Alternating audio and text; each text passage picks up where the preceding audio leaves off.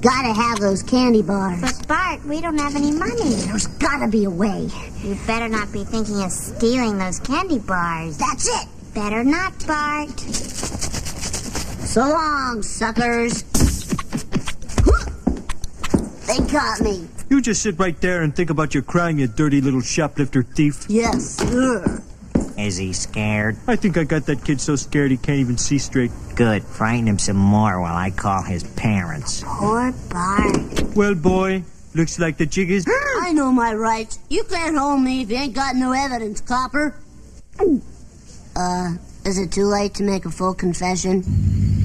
Your and I are very disappointed in you, Bart. Gee, I hadn't noticed. Bart, what have you learned from this experience, Bart? Well, Mom, I might have been caught and had a few bad moments there, but I gotta admit, chocolate was delicious. No, no, no, Bart. The lesson is ultimately crime hurts the criminal. But that's not true, Mom. I got a free ride home, didn't I?